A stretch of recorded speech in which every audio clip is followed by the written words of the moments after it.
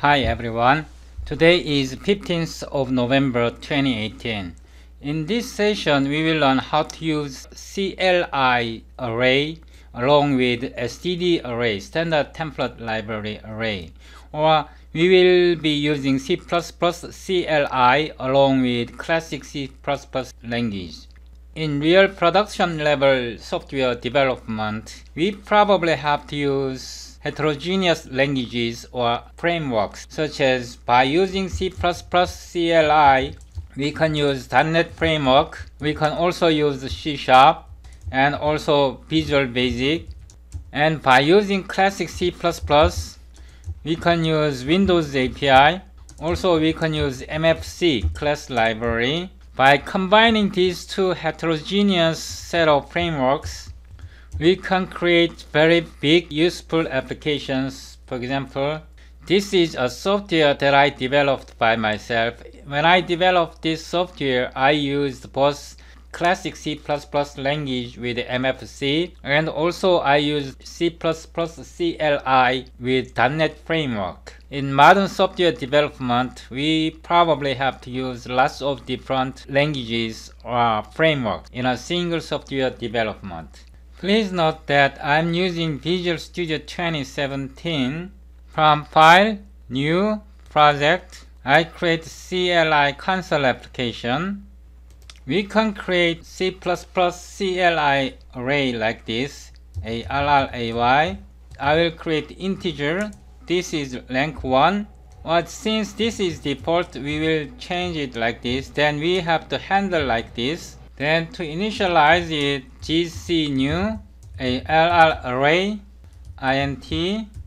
Then we can initialize five elements like this. To display it, we use for each or i in CLI array system console write line i control F5 to build and run. Okay it works perfectly. If we want to use element of string then we have to do like this. System string CLI str array. Then gc gc new array. System string. We have to do gc new system string. Thomas. Gc new. System. String. Steve. We will create like this and in the same manner please note that we have to provide a handle here. Please please remember this syntax. We have to provide a handle. Then here for each auto i in CLI str array. System console write line I. Control F5 to build and run. Okay it works perfectly as we can use reference in classic C++ we can use tracking reference like this in some cases, using tracking reference can be more efficient than simply using auto. Now we will change, we will modify this code a little bit. Please note that this syntax is very ugly, so we will modify this code. I will remove system namespace here. Instead, I will introduce template, type name T, type name TS, then this array means CLI array, CLI array T. We need to provide here rank. Rank is 1 by default. Then we provide, we return handle get CLI array T first TS ARGS or we can just say auto here. Auto I changed it like this. Then here return. Gc new. CLI array. T. Rank 1 first. Args then we can return like this. Then by using this get CLI array we change it like this.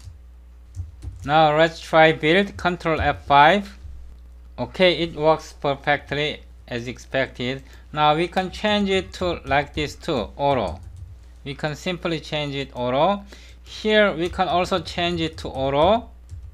Then here get CLI array I modified like this. It's much simpler much cleaner and simpler by introducing this this. Now let's run control F5 okay it works perfectly. So by introducing this function we can clear our code much cleaner. This way is actually much cleaner than the previous way. Now we will introduce std array standard template library include array. Then I will also include IOStream like this.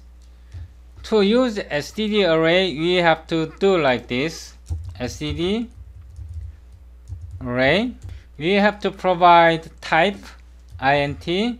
This please note that this is size size of element number of element for example 5 then here std array I will define like this. We can initialize like this. 1 2 3 4 5 then we can display 4 or we can use reference i std arr array. Like this. Then std cout i std and there I'll put line break here. Now we can run it. Control F5 okay it now works perfectly. Please note that this is std array and this is CLI array. So instead of doing this we can also customize like this. Template.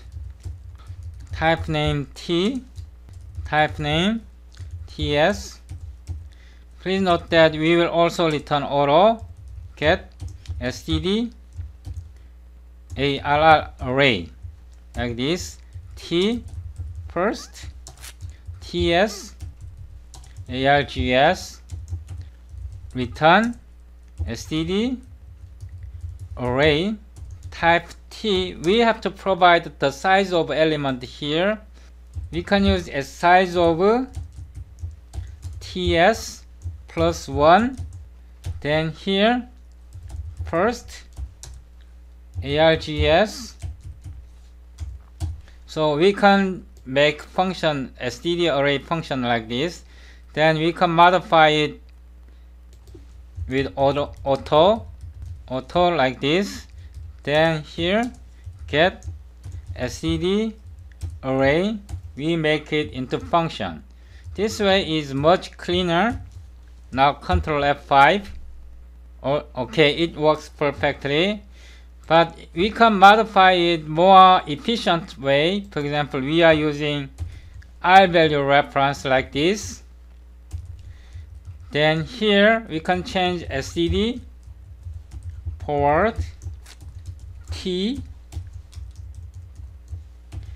and also here std forward ts we can modify our code like this. So if we press ctrl F5 it works perfectly. Here is one problem problem though. If we provide for example number this is floating point all elements should be in this case all elements should be identical element first and all other arguments should be of identical type but in this case these are integer but these are float. So if we compile control F5 it is causing error here. It is saying some conversion error. So we have to change we have to modify like this. Std static no static cast static cast t we can convert like this. We can modify once again. Then control F5 I will rebuild. Okay rebuild. Let's run it. So it works perfectly. I will run again. Control F5 okay it works perfectly. So this way we can clean we can have a clean code. This is for st uh, standard library array. And this is for C++ CLI array this way in a single program we can use C++ CLI or .NET framework uh, array and also we can use st standard array from C++ standard library. Please note that this function returns pure R value of type array, so we can catch return value using R value reference like this too. Then we can build Ctrl F5 once again. Then our program works perfectly. Please subscribe to my YouTube channel. Thank you for watching.